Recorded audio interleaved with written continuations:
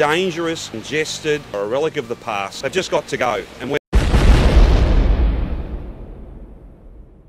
Today we're going to talk about the 50 level crossing removal program. What would you be asking first is what is level crossing removals? It's just a grade separation project between the road and the rail so that traffic can pass without being stopped by trains going through. 29 level crossings will be gone by the end of the year and out of those grade separations, 11 were rail under road, 13 were rail over road, 2 were road over rail and 1 was road under rail. In the 2014 election, the 50 level crossing removal program was just a political promise. Few level crossings that have been put on that removal list are actually not very good decisions, like the one at Werribee Street is a very prime example of politics not understanding what is going on because regional rail link put less traffic on that corridor because the V lines have been diverted via Wyndham Vale and Tarneit. So that makes the Werribee Street crossing uh, not worth doing anymore. But majority of the level crossings picked are in reasonable sites. There's just a couple here and there that don't make any sense where they could have just chosen other ones that have more priority. All projects go over budget mostly. I, I don't see many projects stay in budget.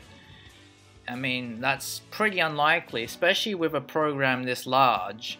It's removing 50 level crossings. It's it, you really think that's going to stay on budget? It's a very complex project, especially with all the scope increase. Like, for example, the Dandenong line's a good prime example because that's that's went way over budget or compared to the other crossings. Across the other crossings are more in budget, but the Dandenong one it has been over because there's a reason for that.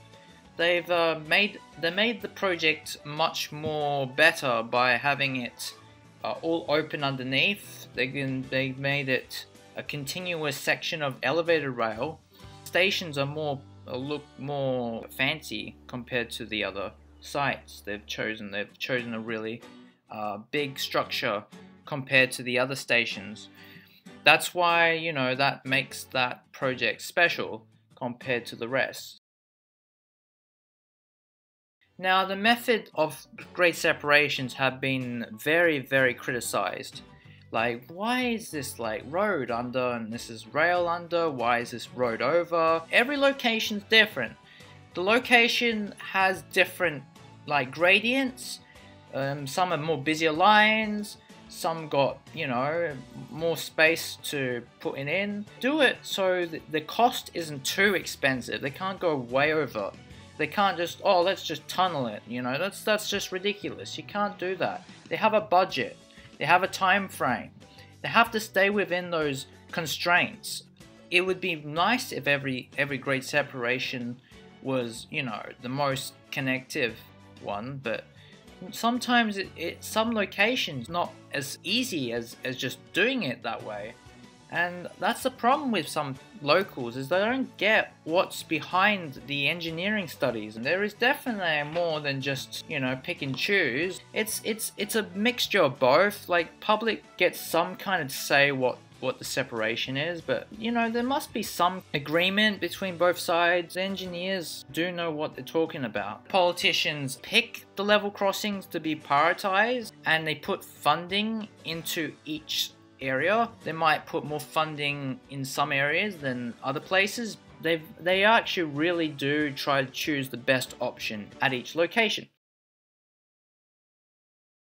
It is actually mostly a road project because it really does benefit road users the most. Uh, let's be honest here, if you remove a level crossing, who's being stopped at the level crossing? Is it the trains? Are the trains being stopped at the level crossing or the cars? Of course the cars are being stopped at the level crossing, so of course that's the main benefit to the level crossing removals is car users. Doesn't mean that rail users don't get any benefits. They get a nice brand new fancy station and they don't have to wait at the level crossings, but most people that travel along the line they won't experience like extra capacity on the rail network or they won't experience any like faster travel time. The travel time will be the same on the rail. It's not going to speed it up. You grade separate the level crossing. Level crossings do not slow trains. One exception is tram squares where the trams intersect with the train. That's where you can actually get some speed increases on the train network. But it's not really a rail project unless you remove the level crossings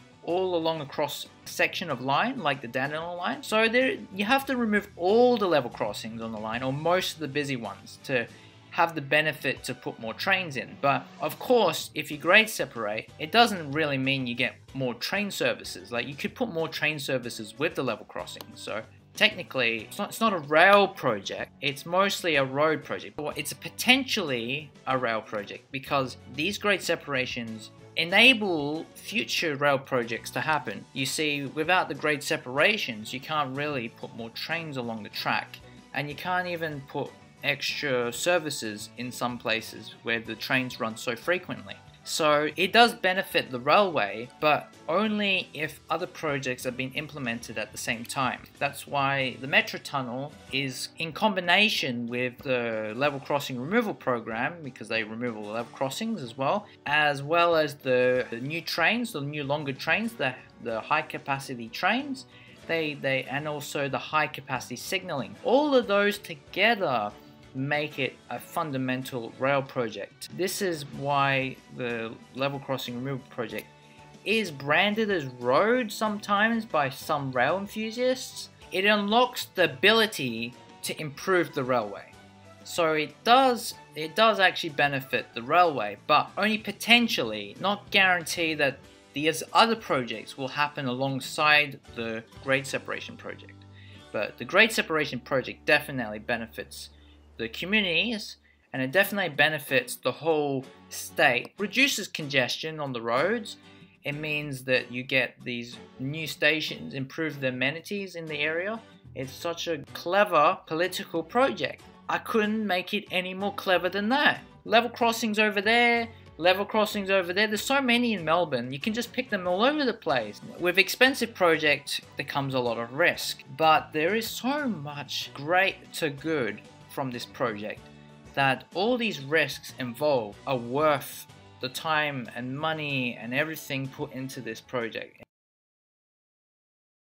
The missed opportunities include duplication of the rail line. There are two areas where they've kind of missed that opportunity. The one at Abbotts Road on the Cranbourne line, the Cranbourne line needs duplication very soon. It's a very busy growth corridor. It was a missed opportunity right there. Another one is the Upfield line at Camp Road. They left room for the second track. They should have duplicated the track because in the future the rail line might extend to Wollert which is another growth corridor planned. And the Upfield line doubles the capacity of the Craigieburn line it's it's it's such a pity when they have all that funding to make the grade separation, but they cannot allow these like small little improvements to the, to the rail network that would actually be worth it in the long term. But you know, it's this short sight thinking which it really bugs me. Like the short term thinking, like that mentality, it's just it's just really sad.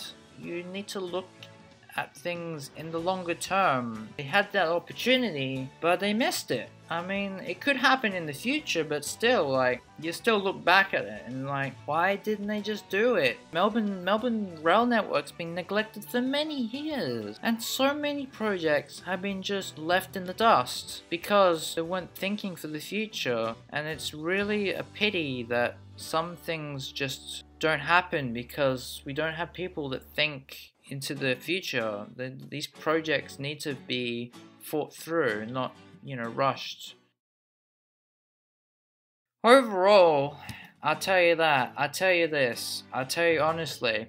Despite all the negativity and how it's all from political promises and think it would happen because it was such a bold idea back then. There was nothing happening in 2014, trust me. There was nothing going on.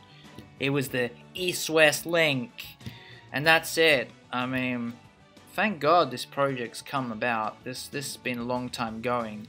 Level crossing removals or grade separations between road and rail have been very slow, and this project is really gonna actually revolutionize the way people travel. That an Andrews Labor government will be all about putting enough to fill Etihad Stadium. Hope this video was um entertaining. I don't think it was, but at least I tried.